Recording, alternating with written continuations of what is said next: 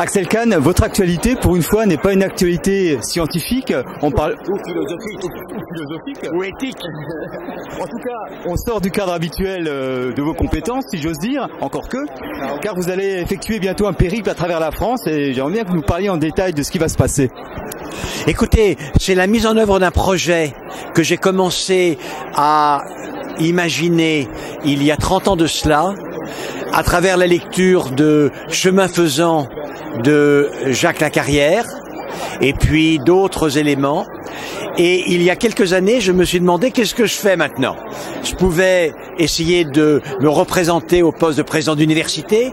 Je pouvais choisir de travailler plus que je ne le faisais encore dans l'administration de la recherche et de l'enseignement supérieur, faire de la politique plus franchement, rentrer dans un cabinet ministériel.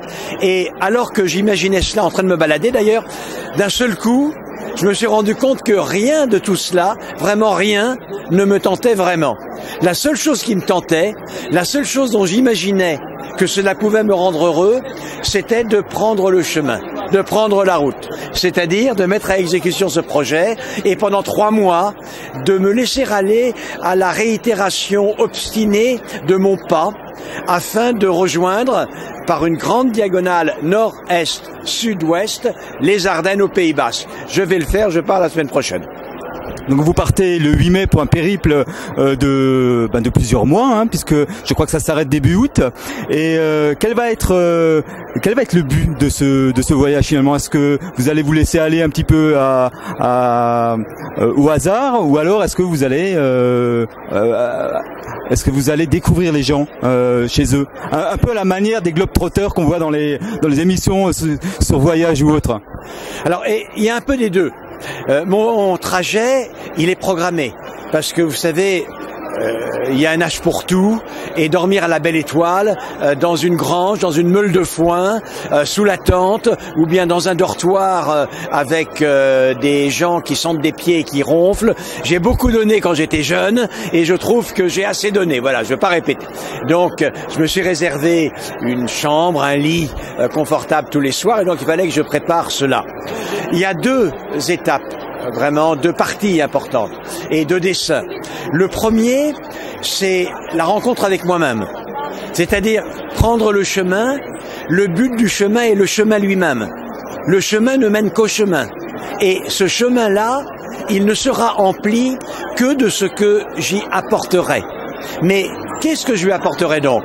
Et alors là, je lui apporterai pas que moi-même. Je lui apporterai moi-même avec les autres et dans les étapes, le parcours étant terminé, car je tiens à ce qu'il soit solitaire, je rencontrerai des gens, je ferai des conférences, j'organiserai des, des clubs, des cercles de parole. J'essaierai d'être disponible autant vraiment que je le peux. Je dis souvent que dès lors il y a la triple quête, la quête de moi-même, au contact des gens, eux-mêmes insérés dans leur territoire, la triple quête. Alors, vous parlez de, de, de vous retrouver vous-même, de voyager seul. Maintenant, on trouve votre parcours facilement euh, sur Internet. On sait exactement où c'est que vous allez vous arrêter. Comment euh, arriver à concilier euh, le, la modernité d'Internet où vous, vous allez tout dire et puis espérer être solitaire? Comme je veux qu'il y ait des rencontres aux étapes, il fallait que je popularise mon trajet. Autrement, je n'aurais pas pu organiser cela. Et je vais concilier les deux. C'est-à-dire, j'ai refusé totalement euh, toutes les personnes qui me proposaient de m'accompagner dans la marche. Je l'ai refusé. Voilà. Je suis même des fois un peu méchant, d'aucuns l'espéraient vraiment. J'ai même refusé pour l'instant des invitations il faut bien dire, euh, avec euh, des arrière-pensées ou sans arrière-pensées, de coucher chez l'habitant.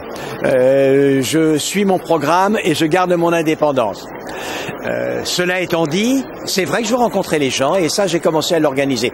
D'autre part, il y a un des éléments de ce voyage, c'est que je suis hanté par la perte du contact avec la beauté naturelle, la beauté nue la beauté qui n'est pas artificielle, qui n'est pas... Il y a une beauté magnifique qui est faite de main d'homme.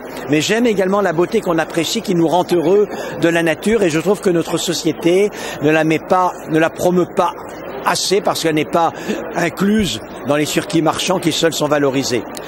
Et donc, je veux également, dans la solitude de mon trajet, arriver à échanger.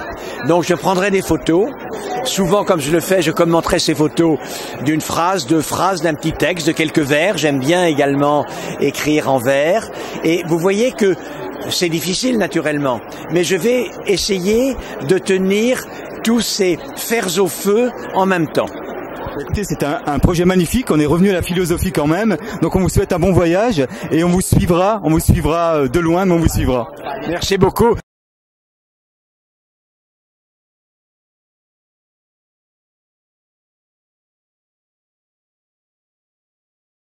Et par conséquent, dans ce que je vais mettre dans le chemin qui est son propre but, il y aura vous et votre attente. Merci beaucoup.